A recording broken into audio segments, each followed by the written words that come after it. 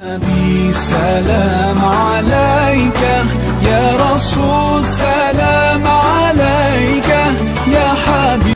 اللہ تبارک و تعالی نے محبوب سے محبوب پر جو کرم نوازیاں کی، جو رتبے عطا کیے، جو مرتبے عطا کیے، ایسے مرتبے، ایسے معجزے، ایسی شان، ایسے کمال، اللہ تبارک و تعالی نے اپنے اور کسی نبی کو عطا نہیں سبحان اللہ کسی نبی کو بھی عطا نہیں بے شک.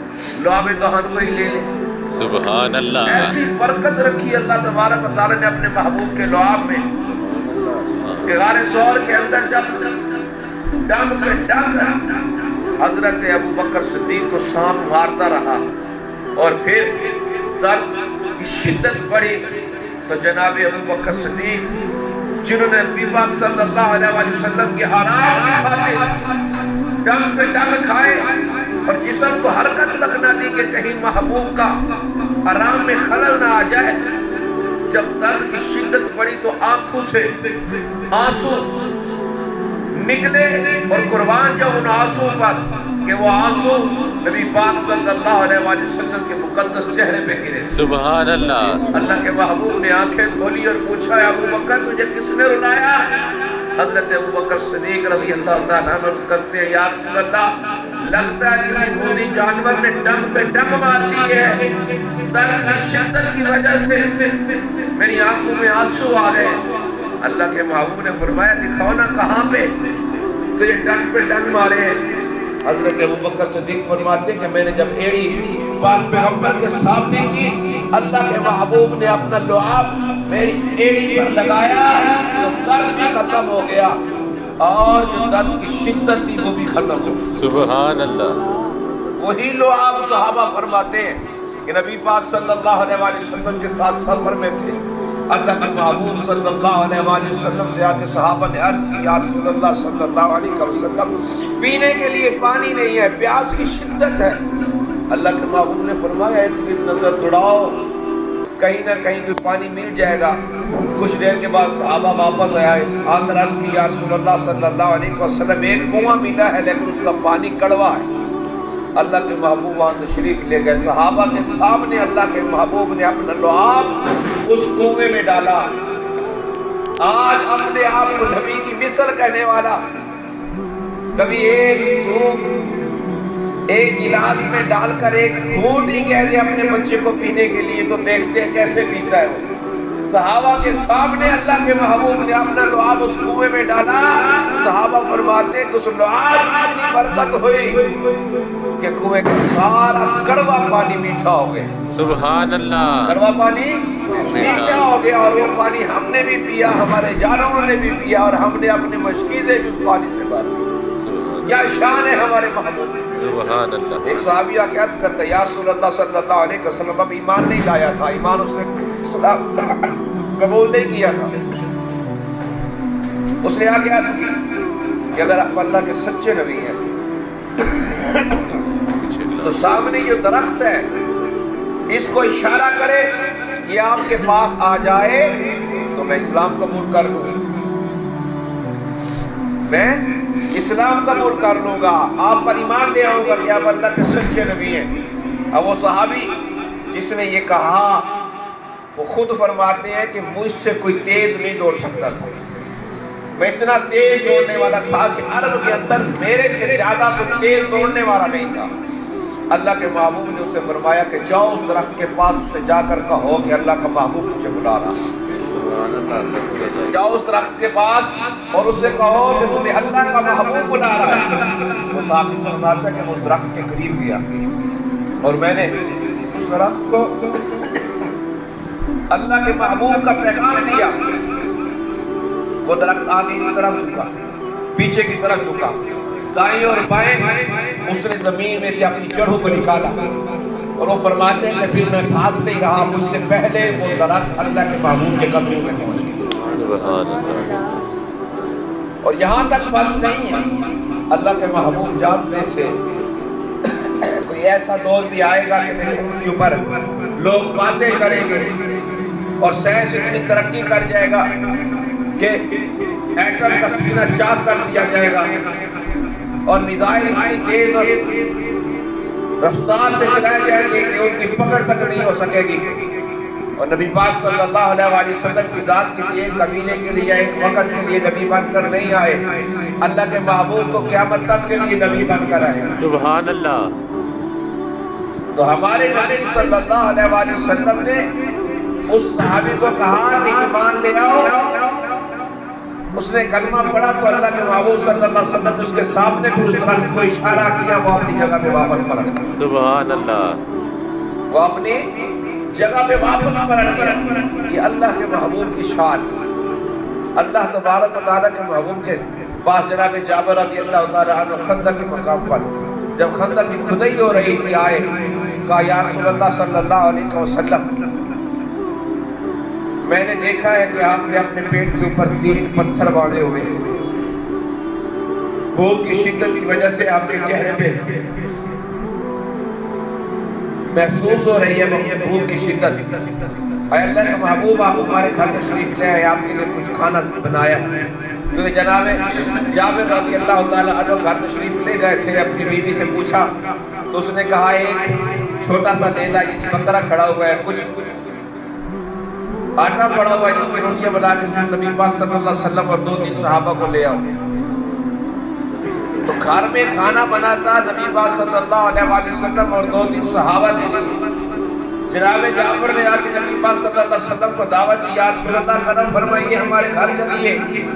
اللہ کے محبوب صلی اللہ علیہ وسلم نے جناب جابر کی طرف دیکھا اور پھر پھر سارے خندق والوں نے کہا کہ آؤ چلے؟ جابر نے ہماری دعوت کی ہے۔ سبحان اللہ، سبحان اللہ. اور جناب جابر فرماتے ہیں کہ نبی پاک صلی اللہ علیہ وسلم نے مجھے فرمایا، جابر، جاؤ کھانا لے آؤ۔ نبی پاک صلی اللہ علیہ وسلم نے اپنے سامنے رکھا اور اللہ کے محبوب نے اس کھانے کے اوپر اپنا کھانے کو اوپر رومال کے ساتھ تھام دیا اور اپنا لعاب اس ہانڈی میں ملا دیا۔ اور حضرت جابر فرماتے ہیں کہ پندرہ سو سے کم یا زیادہ صحابہ تھے۔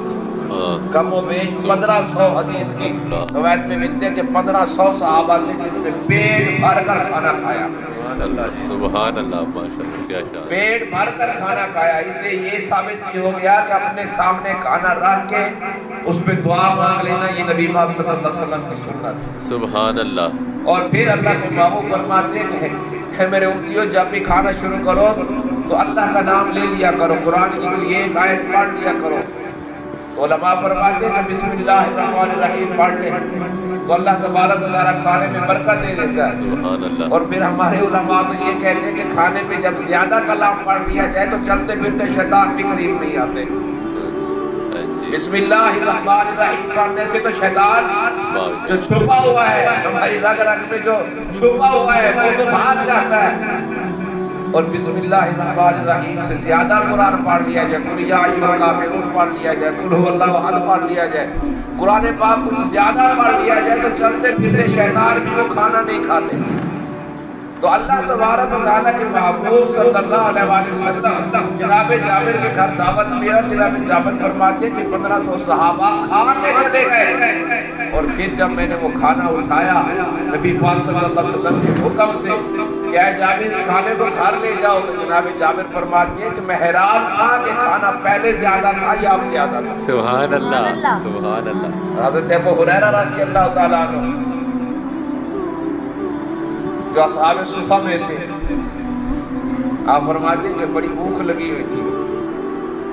جو بھی صحابی قریب سے گزرتا دل میں یہ خیال آتا کہ کاش یہ مجھ سے پوچھ لے کہ اے ابو حریرہ کچھ کھانا ہے۔ حضرت ابو حریرہ فرماتے ہیں کہ میں صفہ کے مقام پہ بیٹھا تھا جب اتنے پہ بیٹھا تھا کہ نبی پاک صلی اللہ علیہ وسلم تشریف لائے۔ اللہ کے محبوب تشریف لائے جو دلوں کا راز جاننے والے ہیں۔ آتے ہی جناب ابو حریرہ سے پوچھا ابو حریرہ بھوک لگی ہوئی ہے۔ کہا یا رسول اللہ صلی اللہ علیہ وسلم بہت زیادہ۔ اللہ کے محبوب فرماتے ہیں چلو اللہ تبارک و تعالیٰ کچھ انتظام کر دے گا۔ کچھ دیر دیر جناب ابو حریرہ فرماتے ہیں کہ ایک آرابی ایک دودھ کا پیالہ لے کے آیا۔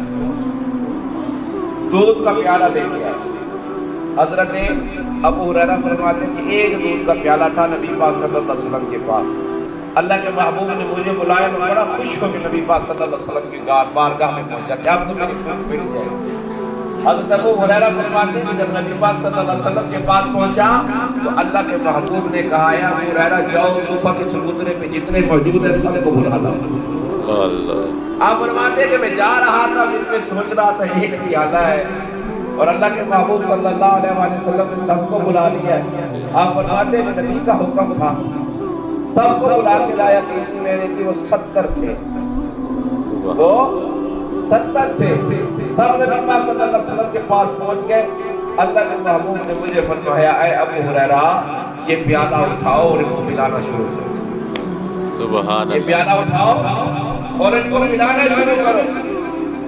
اللہ کے محبوب کے حکم سے نبی پاک صلی اللہ علیہ وسلم کے حکم سے حضرت ابو حریرہ فرماتے کہ وہ پیالہ میں نے پلانا شروع کرو۔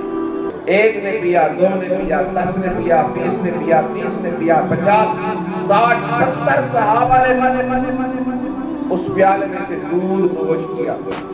آخر میں نبی پاک صلی اللہ علیہ وسلم نے مجھے فرمایا، آئے ابو حریرہ پیو۔ جناب ابو حریرہ فرماتے ہیں کہ میں نے پیا۔ پیٹ بھر گیا نبی پاک صلی اللہ علیہ وسلم کی بارگاہ میں پیش کیا تو اللہ کے محبوب نے کہا، اور پیو۔ جناب ابو حریرہ فرماتے ہیں کہ میں نے اور پینا شروع کیا۔ پھر نبی پاک صلی اللہ علیہ وآلہ وسلم کو واپس کیا تو اللہ کے محبوب نے فرمایا ہے ابو حریرہ اور پیو. سبحان حضرت ابو حریرہ فرماتے کہ میں نے عرض کی یا رسول اللہ صلی اللہ علیہ وسلم اب تو ایسا محسوس ہوتا ہے کہ میرے ہاتھ کی انگلی سے دودھ نکلنا شروع ہو جائے گا یا رسول اللہ بس اور زیادہ نہیں پیا جاتا. تو اللہ کے محبوب صلی اللہ علیہ وآلہ وسلم نے وہ پیالہ مجھ سے دی لیا اور خود نوش فرمایا. سبحان اللہ. تو یہاں ایک بات یہ بھی ثابت ہو گئی کہ اللہ کے محبوب صلی اللہ علیہ وآلہ وسلم نے جو فرمایا ہے نا کہ مسلمان مومن کے جھوٹے میں شفا ہے۔ عملی طور پر دکھایا ہے اپنے امتیوں کو کہ کہیں یہ نہ ہو کہ نبی پاک صلی اللہ علیہ وسلم نے خود کو نہیں لیا ہمیں کیوں کہا؟ اللہ کے محبوب نے ستر صحابہ کا جھوٹا لیا۔ اور آج ہم اپنے بچوں کو اپنے باپ کا جھوٹ نہیں پینے دیتے۔ گھر میں پانی پڑا ہو آدھا گلاس ہو کیسے جاتے ابھی ایک بات یہ بھی بڑی غور طرف ذہن میں بات آ گئی ہے کہ اللہ کے محبوب صلی اللہ علیہ وآلہ وسلم نے فرمایا کہ اگر تم دریا کے کنارے پر بھی وضو کر رہے ہو تو وہاں بھی پانی کا اسراف نہ کرو۔ چودہ سو سال پہلے فرمایا۔ بے شک۔ اگر دریا کے کنارے پر وضو کر رہے ہو تو وہاں بھی پانی کا اسراف نہ کرو۔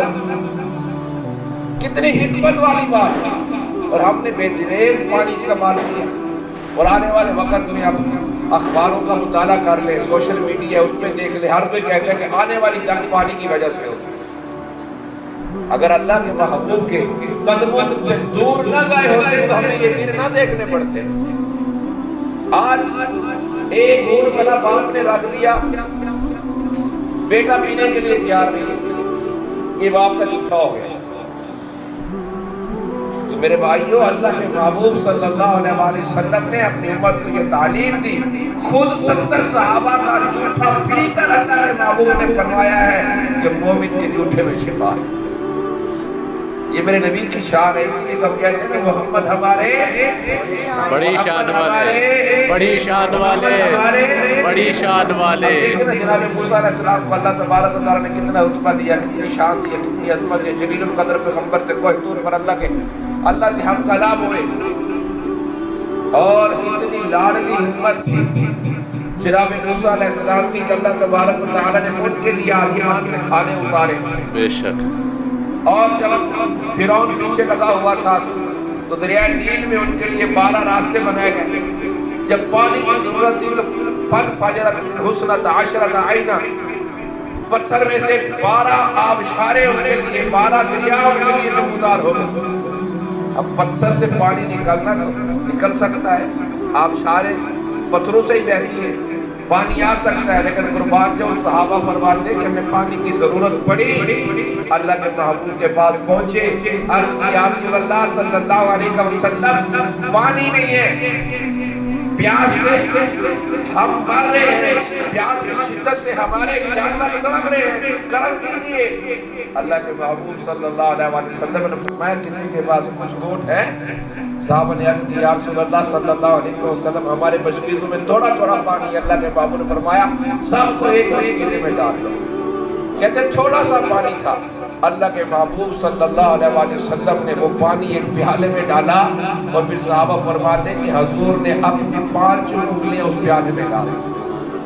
اور صحابہ فرماتے ہیں کہ ہم نے اپنی آنکھوں سے دیکھا اللہ کے محبوب کے ہاتھوں سے پانچوں انگلیوں سے پانی کے چشمے روا دوا سبحان اللہ۔ پانی کے چشمے وہاں بارہ چشمے نکلے ہیں پتھر سے۔ اللہ کا قرآن کہہ رہا ہے اور نکلتے ہیں اس میں کچھ شخص نہیں پتھر سے پانی آ سکتا ہے۔ اللہ کے محبوب صلی اللہ علیہ وسلم کو اللہ نے یہ مرتبہ دیا کہ جب صحابہ کو پانی کی ضرورت پڑی تو اللہ کے محبوب صلی اللہ علیہ وسلم کے صحابہ فرماتے ہیں کہ اللہ کے محبوب کی انگلیوں سے پانی چشمے اللہ تبارک و تعالیٰ نے جاری کر سبحان اس اللہ لیے تو ہم کہتے ہیں نا محمد ہمارے بڑی شان والے۔ ہمارے۔ بڑی شان والے۔ রে